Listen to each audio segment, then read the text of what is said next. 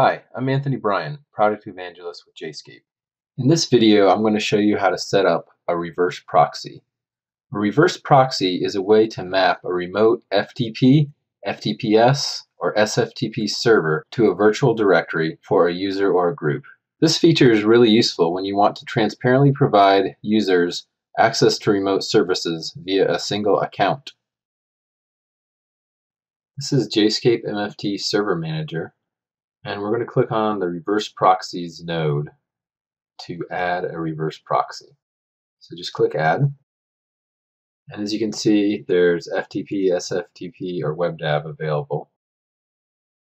And I'm going to set up a reverse proxy for Microsoft's public and anonymous FTP site. So we're just going to put in the information for that. Click OK. And then the next step is clicking on the users node and we're going to edit the demo user. Click on the Paths tab, click on Add, and select the reverse proxy, the only one we have configured, and I'm going to give it the same name. And then just click OK.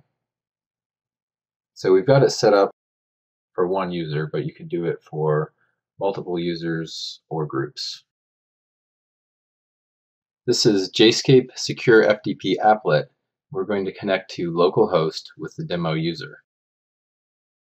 So once we log into localhost, you can see the Microsoft FTP site is reverse proxied in, so it looks like it's part of our system here and you can traverse the directory structure on the remote FTP site and download files and everything like normal.